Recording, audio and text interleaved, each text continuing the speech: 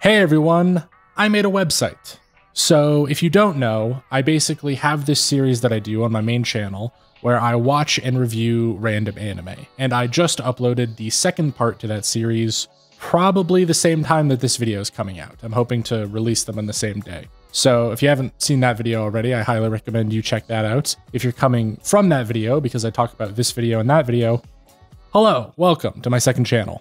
And so for the very first video that I used, I used a website called spin.moe, which is a anime randomizer. I literally just looked online for like anime randomizer, random anime picker. I just looked up a bunch of terms like that and spin.moe was pretty much the only website that did sort of what I wanted. Um, and so for my very first video, I just used that website and it worked out well. I really liked that first video. A lot of other people seem to really like it, which is why I then am now uploading a second part to it and trying to make it a series. Um, and everything was going great. However, with spin.moe in particular, and no hate towards their creators or anything, I'm sure. I mean, I now know personally that creating a website that does stuff like that is very difficult, but spin.moe had like really weird limitations that I later found out pretty much as soon as I uploaded that video and got a bunch of comments from people who had also used spin.moe to like pick anime. And one in particular that was really weird was that if an spin.moe would not show an anime that was released or like started airing after 2006. And I spun that website for like hours after that video came out.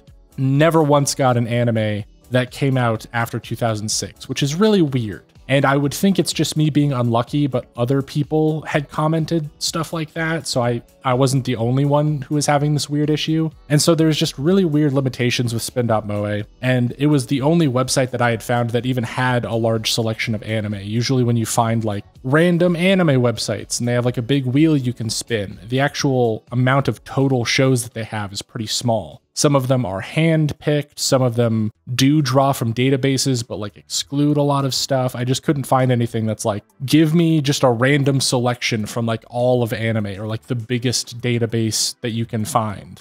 And so for my second video, when I was going to make a sequel to the I used a randomizer series, I was just looking online for like more randomizers that would be a little better or have more options, and I could not find anything online that had what I wanted, which was basically all of my anime list seemed like a good option. That's probably the widest selection of anime that you could find, and just a website that would pick a completely random show from my anime list, like the entire thing. Give me a weird music video, give me a hentai, give me a strange, untranslated Chinese kids show, like anything. And spin.moe wouldn't give me that because it had weird limitations and also was very slow to use, which having made a website I don't understand, as I'll talk about in a second. And yeah, I couldn't find any website that was better. I couldn't find anything that did what I wanted to do. But looking at websites that just pick a random anime from like one website that has a selection of anime, I'm like, that can't be that hard to make, right? That has to be a simple thing to be able to program. Like, surely that's not a difficult thing. And so I started doing research and I started looking into how I could access my anime list, how I could pick an anime randomly, how I could do all of that stuff. And I ended up stumbling upon something called Jikan API. No idea if I'm pronouncing that correctly. I'll show it up on screen right here. There'll be a link in the description to everything I talk about in case you want to look it up yourself. Um, but I found something called Jikan API which is a third-party API. If you don't know what an API is, it's just something that lets you like connect to a website and like use features from it. And Jikan API was a third-party API that connected to my anime list and basically took all the data from my anime list. I don't think with their permission because it's a third party that made the API, but it takes all the data from my anime list and lets you like write programs and stuff that use my anime list and can like get entries from it. Um, and if you look up Jikan API in YouTube or on Google, you'll find a bunch of tutorials and stuff, guides on how to make websites that can like create an anime search database or create whatever. And it's a very robust way of accessing my anime list. And I'm like, okay, this is great. And so wanting to make a video where I select random anime, like actually randomly from like a giant selection and not this limited slow website that I was using before, I just started programming. I don't know what compelled me to do this, but I just started learning or relearning um, JavaScript and how to make a website. And the way that I built um, the website that I have, which is animerandomizer.com, is I used, oh God, it's called React.js. I'll put a link in the description of that. Uh, React.js, which is a way of like programming JavaScript. And I basically use that because it can just, it just automatically, like you run the program and it builds a website for you. So I use this thing called React.js. And then I made my own website that randomly picks any anime from my anime list. Um, API actually has a built-in random function where you call the function and it just spits out a random entry from all of my anime list, which is like exactly what I wanted. And I don't know why a website that used that function didn't exist or like I couldn't find one previously. And so I used this API and my previous programming skills, which are not great and very rusty, and I made this website and it doesn't look great. It uses Comic Sans and like default CSS styling, so it looks ugly. Though I did make it so it can scale on like mobile devices and still be usable, but it just looks like shit on anything that you use it on. But you click a button, it spits out a random anime for you, and then you click on the the title of the anime, and it takes you to its my anime list entry, so you can like find it. And that's all I wanted for my video that I was doing.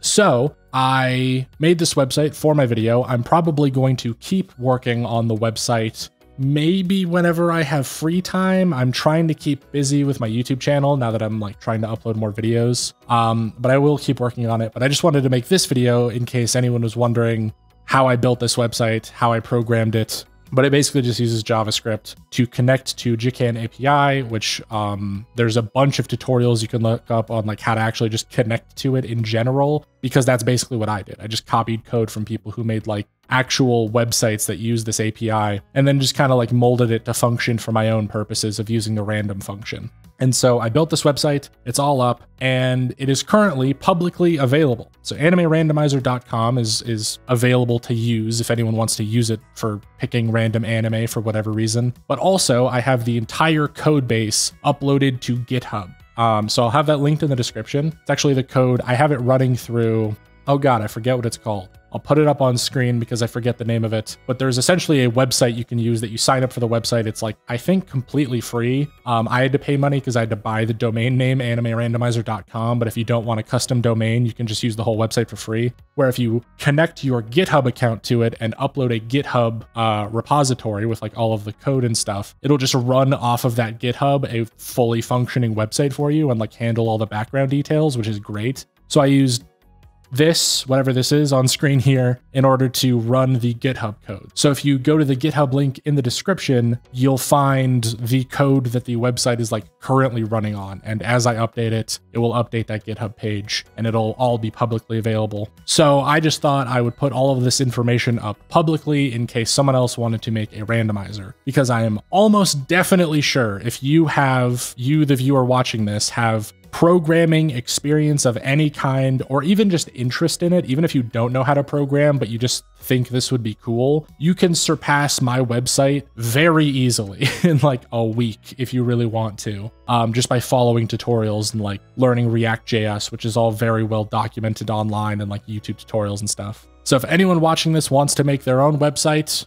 not saying anyone has to, but I found it interesting, so other people might want to do something similar. Um, go to all the stuff I linked in the description, and you'll be able to find literally everything I used, including my own code. If you want to like download my code and use it for whatever function you want to use it for. Um, my code is terrible. I did not document like anything. It's very bad and bare bones, and a lot of it's just copy pasted from other tutorials, like haphazardly put together, and then like I'm not sure the correct way, but in a way that works seemingly for now. So if anyone's interested in that, I'm putting this all out publicly. If you're interested at all in the website I made, that's the entire purpose of this video is just to talk about this. And yeah, that's basically it. Thanks for watching. I'll see you next time.